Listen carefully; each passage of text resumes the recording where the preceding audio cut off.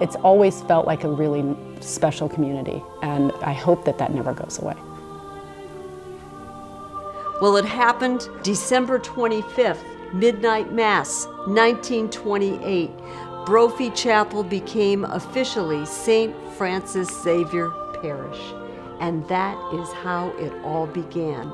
Brophy Chapel is proud of its heritage that it was the first parish church at St. Francis Xavier.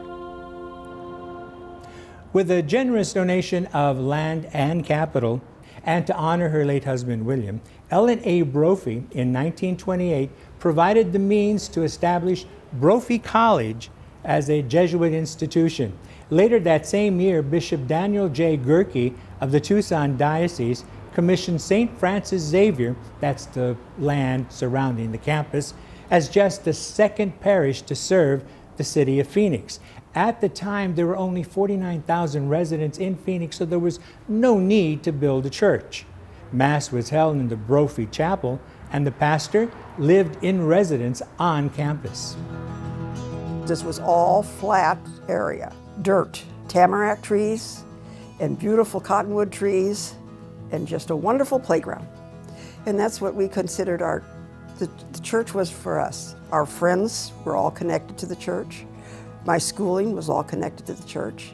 And we had all kinds of fun things here. There's so many happy memories, it's hard to describe which was the best. I was baptized here at St. Francis Church in 1932 at Brophy.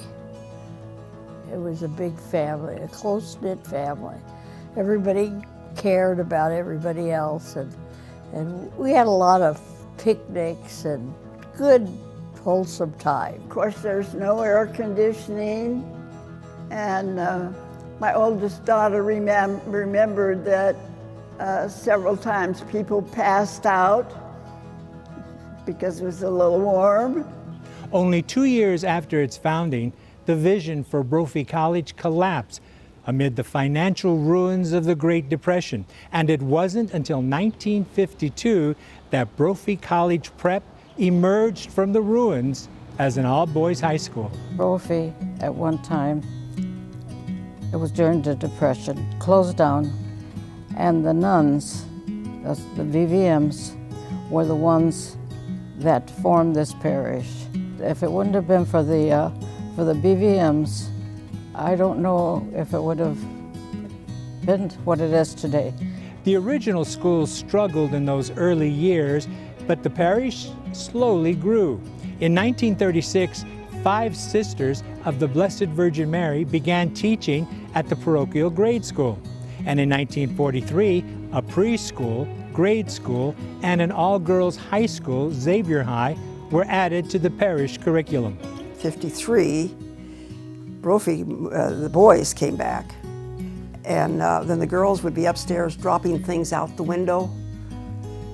Of course, sister was very, she knew what was going on. They were making dates for Friday night.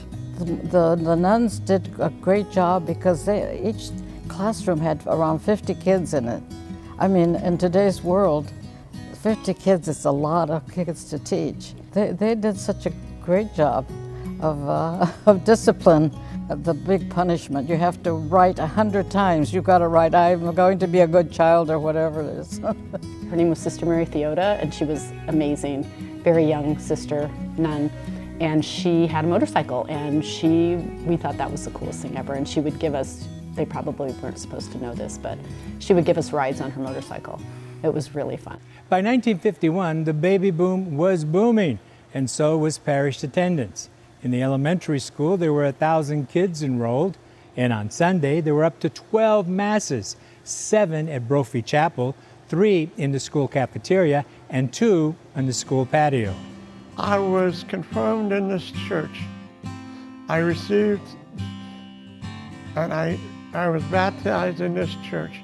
I, I received my First Communion in this church, and that's was, was so special for me.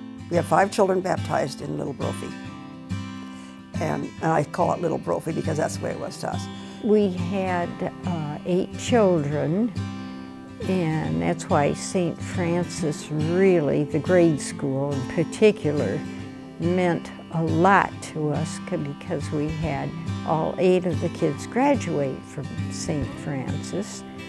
And then we had two girls and six boys. So the six boys went to Brophy and the two girls went to Xavier. I have six, four boys and two girls. They all went to St. Francis Grade School in Xavier and Brophy. In 1958, St. Francis Xavier Parish finally began construction of its own church. It was completed and dedicated the following year on the Feast of St. Ignatius. It seats 1,500 people, which at the time made it the largest church in the state of Arizona. Its beautiful, warm, serene worship space is attractive to both Catholic and non Catholic alike. In fact, one day in 1963, a tour of more than 600 non Catholics came here just to experience the peace and beauty of St. Francis. We went from a small, humble parish to a grand, beautiful church uh, overnight, and, and uh, it was awesome. My husband collected, he went door to door knocking on doors collecting money for this church. He was a tremendous salesman and he got plenty of donations. The parish continued to grow steadily. In 1971, the first parish directory was printed, representing 2,400 families. In 1985, the RCIA program for Catholic converts began, and in 1987, during his pilgrimage to the United States and Arizona, Pope St. John Paul II processed right down Central Avenue next to the church. Growth and structure modification continues steadily, and the 60 acre parish campus encompassing a church, grammar school, and two high schools is the heartbeat of the finest education that can be found in the state of Arizona. Our uh, school is superb. Our programs are growing and they're growing better and better each year. Wonderful uh, faculty and staff, administration. And the heart of it, of course, is, is the parents and the students that come here. The Jesuit influence is important. It's the only Jesuit parish in the state. I think the Jesuits are outstanding in their personalities, their relationships with the parishioners the love for education that the Jesuits have and the pushing that people do the more, do, you know, just always there's another level to reach. They strive for uh, excellence in education and uh, the uh, love of your fellow man. It's uh, men for others, people for others. The biggest change is just the success of Brophy and Xavier as a result of St. Francis. I have toured the uh, grade school and everything is just the latest. Everything is just the best. This parish has, because of the facilities that are built here now and the area that it's in, I think this, this parish has a, has a really bright future. Now celebrating its 90th anniversary, St. Francis Xavier Parish continues to thrive by meeting the intellectual, spiritual, and corporal needs of its enthusiastic and dedicated parishioners. Its more than 60 ministries conduct outreach and enrichment to more than 30,000 people.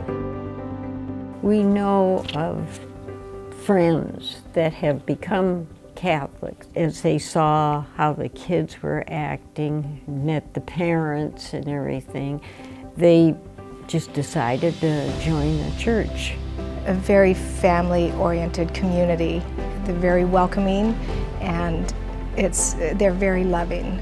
Uh, you can't help but want to be involved when you come to this parish. I just am very proud to be part of this community and I just absolutely love everybody at this parish. The most important thing I think we can do here is to be bridge builders, reconcilers, healers. We've gotten to that point where we need to come together. That's our main goal. And in the Jesuit tradition, St. Francis Xavier Parish does it all for the greater honor and glory of God.